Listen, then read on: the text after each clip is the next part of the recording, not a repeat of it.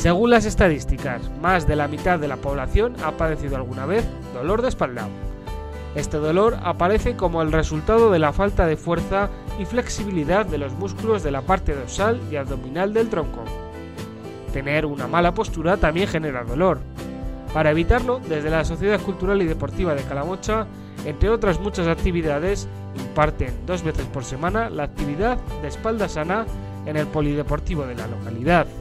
La actividad de espalda sana lo que pretendo conseguir es eh, el movilizarnos, estirarnos, fortalecernos para que nuestra espalda pues, esté mejor, ¿vale?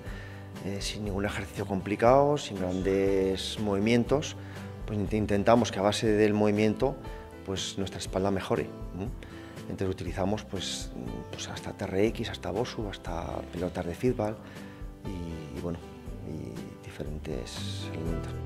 Pueden realizar esta actividad personas de todas las edades, desde adolescentes con problemas constitucionales en su espalda a personas sedentarias que por su trabajo de oficina necesitan compensar y prevenir problemas en la espalda, o también personas mayores que buscan una actividad de bajo impacto que se ajuste a los problemas de la edad. El objetivo de las clases es ayudar a las personas que presentan problemas en la espalda o también como medio de prevención de dichas dolencias en un futuro.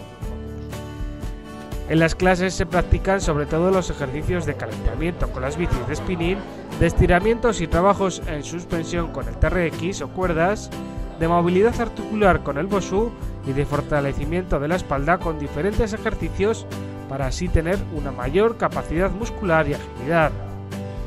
Pues bueno, pues que al final es, una, es un tipo de, de clases que, de, que deberíamos hacer todo el mundo, nos duela no nos duela nada, ¿vale?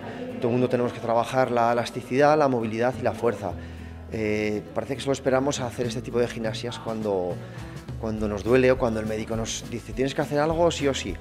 Eh, yo animaría a todo el mundo que hiciera pilates, espalda sana, antes de que tenga dolores severos o, o fuertes, porque es que luego ya eh, es más complicado. Eh, trabajar con lesiones ya, pues claro, eh, ya no es tan fácil. Entonces yo os animaría a todo el mundo a hacer espalda sana o pilates o ejercicios sin impacto antes de, que, antes de que duela nada o antes de que te lo mande el médico. Finalmente, recuerda que para prevenir el dolor de espalda es primordial ejercitar regularmente los músculos de la columna y el dorso, ya que su función principal es la de mantener una correcta posición corporal.